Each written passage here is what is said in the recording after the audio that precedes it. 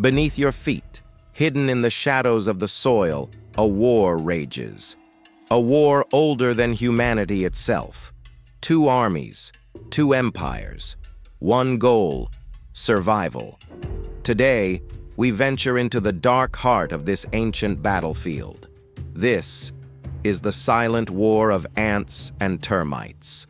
On one side, the termites, architects of towering fortresses. On the other, the ants, ruthless invaders armed with biological weapons. Who will win? Let's dive into the trenches. This isn't just a pile of dirt. It's a masterpiece of engineering. Termite mounds are nature's skyscrapers, complete with air conditioning, nurseries, and even farms. Inside, a queen rules supreme, laying 30,000 eggs a day. But this empire has a fatal flaw. Meet the termites' frontline defenders. Their jaws snap shut faster than a speeding bullet train. Yet, their greatest strength is also their weakness. Why? Because ants don't fight fair. The ants are coming, scouts first, tiny spies mapping every crack in the termites' defenses. Then the army marches, millions strong. They don't need brute force. They have chemistry. This ant just unleashed its secret weapon, formic acid, a chemical so corrosive it melts termite exoskeletons on contact. But the termites aren't defenseless. Their soldiers counterattack with a sticky, toxic glue. The battlefield becomes a nightmare. And here's the twist. Ants don't just attack from above.